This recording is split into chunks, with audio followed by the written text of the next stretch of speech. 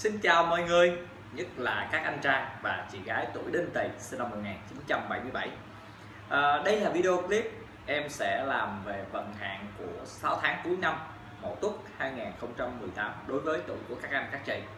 Thì à, em đã làm à, cái video cho vận hạn à, 6 tháng đầu năm rồi. Thì à, chỉ dựa vào sách vở mà em nói thôi Không biết nó có đúng với à, tất cả mọi người hay không. À, Tuy nhiên đó là em hy vọng rằng à, nó ờ, không xấu đến cái mức ừ, như em nói. Tại vì thật sự mà nói thì sao hạn và bổn mạng của các anh các chị năm nay thì rõ ràng là đều không tốt đẹp, Đúng không? nam thì diễn sao văn hớn nữ thì diễn sao la hầu. Nữ thì cái sao la hầu của này thì nó ảnh hưởng cho nam nhiều. Nó đem lại rối rắm nạn tai, nhưng mà đối với nữ thì nó cũng sẽ có cái sự xấu 50 phần trăm. Ờ, Vân hớn thì của các anh thì ờ, nó lại rối rắm tranh chấp rất là nhiều điều uh, trong công việc nó xảy đến những cái điều mà nó không có uh, thuận tiện. Thì uh, xem thêm coi là uh, 6 tháng cuối năm nó có khác biệt nó có đỡ đần hơn cho các anh các chị hay không? Thì uh, cái vận hạn của từng tháng thì không phải là cứ uh, rơi là nó rơi theo một đường thẳng. Cả năm xấu là nó rơi theo một đường thẳng mà bạn có sẽ có nhấp nhô đúng không? Chỗ lên chỗ xuống và chỗ nào xui và chỗ nào không. Hơn thì tháng nào nó có nhiều điều trắc trở thì để mà các anh các chị có được cái ờ, sự thuận tiện ờ, à, chấm nét à, ờ, trở lại với cái cái cái, cái vận hạn của 6 tháng cuối năm. Thì à, em đã làm cái tháng từ tháng 1 tới tháng 6 rồi thì bây giờ em chỉ làm từ tháng 7 tới tháng 12 thôi. Thì à, tháng 7 âm lịch là tháng canh thân một tháng mộc. Tháng này thì nếu mà theo tây lịch thì nó sẽ bắt đầu vào từ ngày 13 hay là 14 tháng 8 gì đó năm 2018 thì à, tháng này là một tháng mộc, và các anh, các chị thì là làm mệnh thổ, cho nên gọi là mộc khắc thổ. Tháng khắc bản mệnh, sức khỏe bổn mạng cần cẩn trọng. Ha, vấn đề của sức khỏe là không thể nào mà không nói được. Mình mà bị tháng khắc bản mệnh, mình khắc nó nó khắc mình.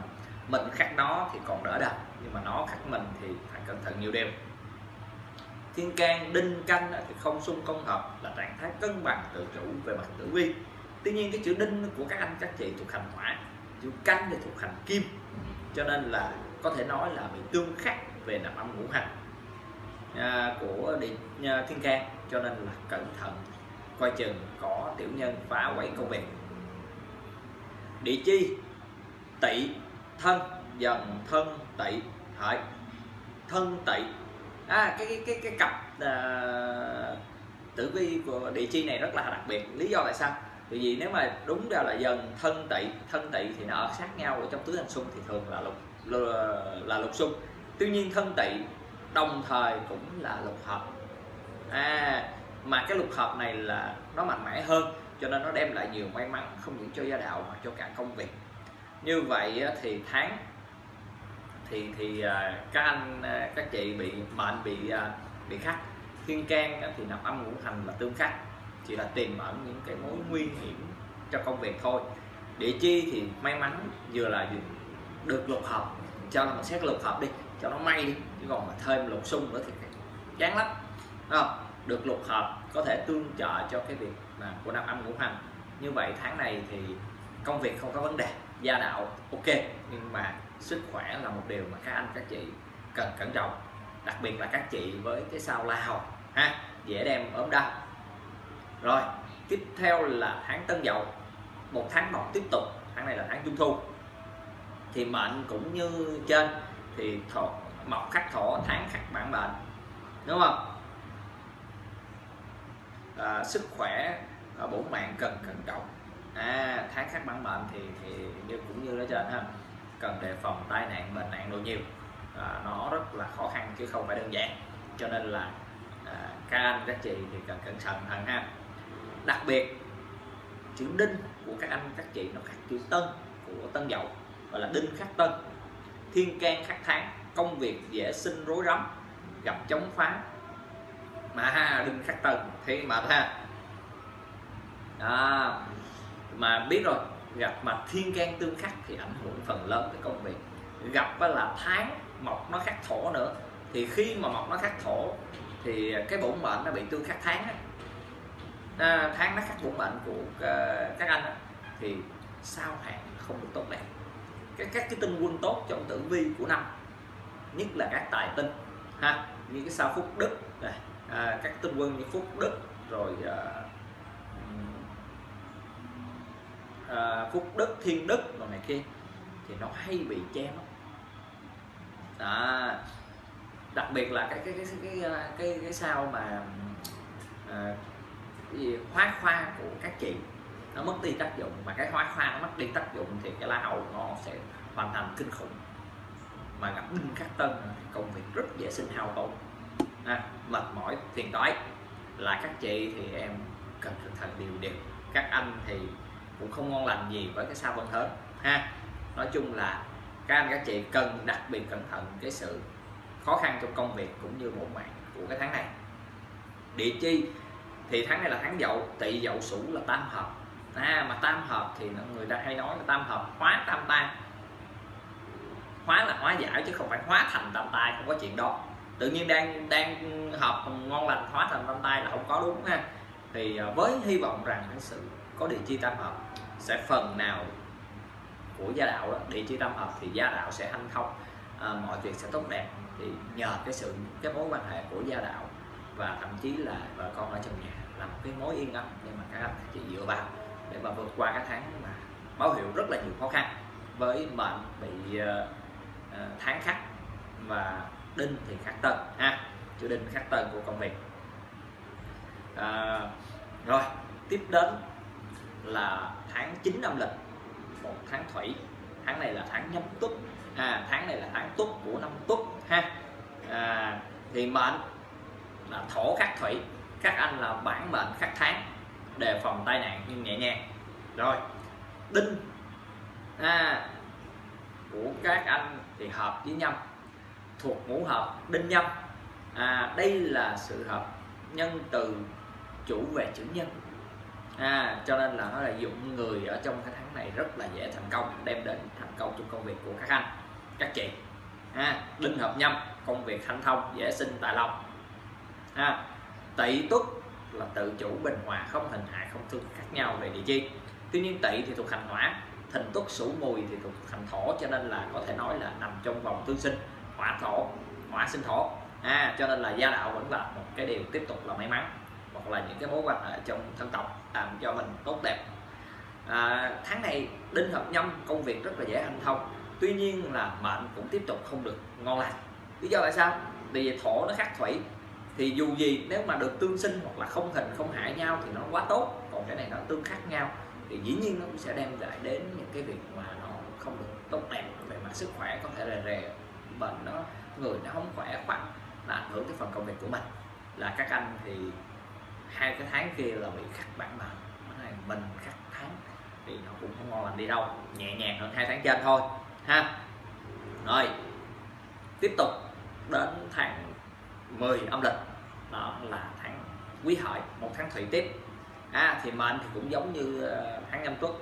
Thổ khắc thủy bổ mệnh khắc tháng đề phòng cái tai nạn nhưng mà nhẹ nhàng.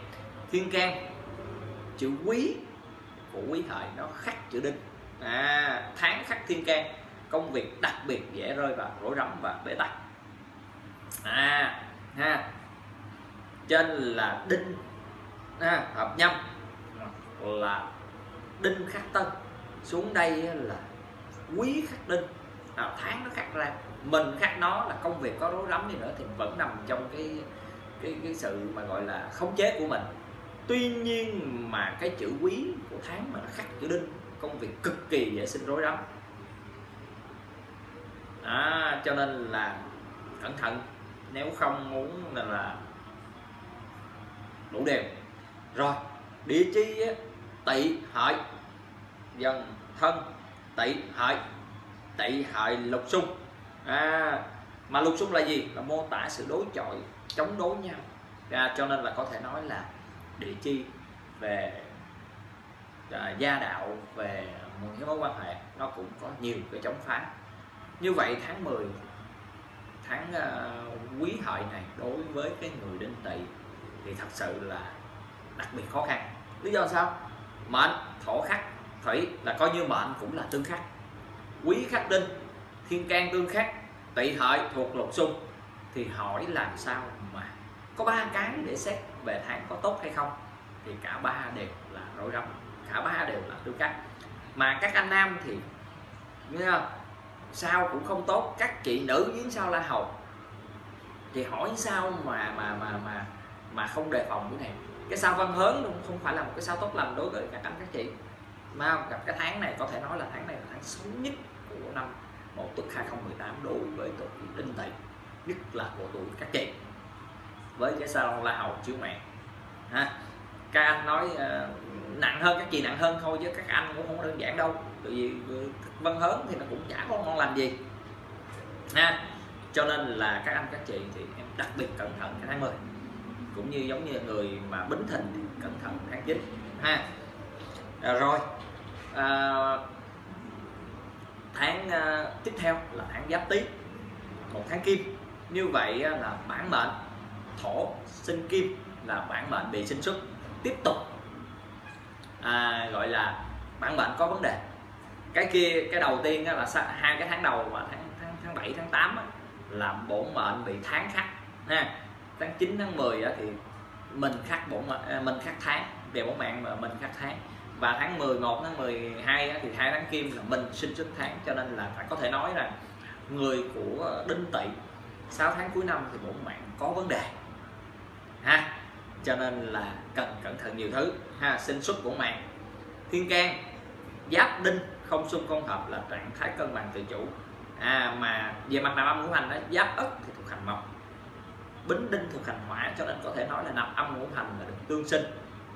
Mộc hỏa có thể là sinh về tài tinh tài lộc được uh, ngon lành. Địa chi? Tỵ tỵ à, tỵ tí lộn tỵ tý thì tự chủ bình hòa không hình hại không xung khắc nhau. Tuy nhiên về mặt âm ngũ hành đó là tỵ ngọ là hỏa ha. Tý hợi là thủy à, cho nên là có thể nói là nằm âm ngũ hành của địa chi vẫn là tương khắc. Như vậy thì à, tháng 11 có thể là tốt hơn tháng 10 là thí dụ như tháng 10 là à, có hai điểm thôi tháng 11 được 4 điểm hoặc là 5 điểm. Từ vì sao? Thì thổ sinh kim thì bốn bệnh cũng sinh xuất đỡ hơn là thổ khắc à, thủy ha. Thiên can thì bính đinh à, giáp đinh thì không xung không không khắc về mặt tử vi. Tuy nhiên về mặt nạp âm ngũ hành là um, tương sinh ok đi. Nhưng mà tỵ với tý này thì lại rơi vào nạp âm ngũ hành là tương khắc thủy hỏa. Cho nên là tốt hơn, có thể là năm năm điểm rưỡi đi. Chứ còn không có thấy tốt đẹp, thấy không? Sách vở ghi sao thì em trình bày với mọi người như vậy. Và còn mọi người thấy nó đúng hay là như thế nào mà ứng dụng thì là do mọi người, ha? Rồi, tháng cuối cùng của năm một tuất 2018 đó là tháng chạp. Và tháng này là tháng ất sửu một tháng kim tiếp. Thì bổn mệnh cũng vẫn tiếp tục là sinh xuất thổ sinh kim. Có vấn đề, cần cẩn thận thiên can ất đinh không xung không hợp là trạng thái cân bằng tự chủ. Như đã nói ở trên giáp ất thuộc mộc bính đinh thì thuộc hỏa cho nên là thuộc dòng tương sinh. Địa chi thì rất là may mắn các chị được tỵ dậu sửu các anh được tỵ dậu sửu tam hợp là dấu hiệu của nhiều sự may mắn không những cho gia đạo mà còn cho cả công việc. Như vậy thì tốt đẹp nhất trong cái cái cái, cái 6 tháng uh, cuối năm này có thể là tháng uh, tháng trang chạp đối với tuổi của anh chị lý do làm sao? Chỉ có cái thổ nó, nó sinh xuất kim thôi. Còn à, thiên can thì không xung không hại nhưng mà nó có được à, tương sinh về nằm âm ngũ hành. Địa chi thì là nhóm tam hợp tỵ dậu sửu. À, lại ngon lành. À, như vậy thì tháng 12 là tháng cuối cùng của năm ha.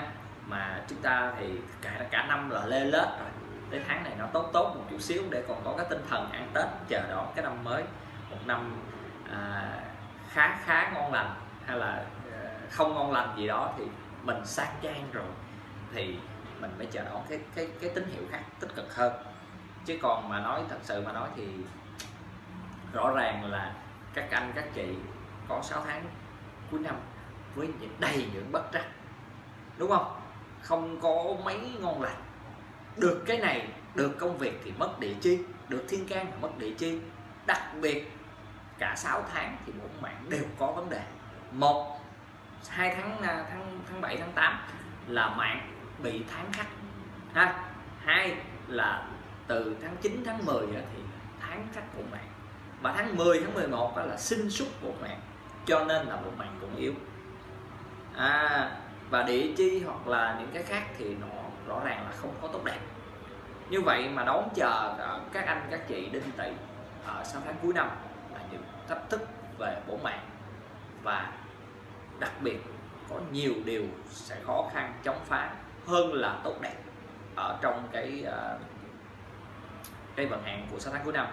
Hy vọng rằng nó là cái thông tin mà giúp được các anh các chị đưa ra những cái quyết định về đầu tư uh, về cuộc sống một cách mà uh, phù hợp. Uh, các anh các chị xem video thấy hay nhớ bấm like và chia sẻ cho nhiều người tuổi đinh tỵ cùng được biết mà ứng dụng vào cuộc sống. Ai chưa đăng ký kênh anh ba tử vi xin bấm đăng ký ở bên dưới để đón chờ những cái video tiếp theo có thể là về tử vi vận hạn của tuổi người thân của các anh chị. Rất vui vì mọi người đã chú ý đón xem. À, hẹn gặp lại mọi người ở những video tiếp theo. Bye bye.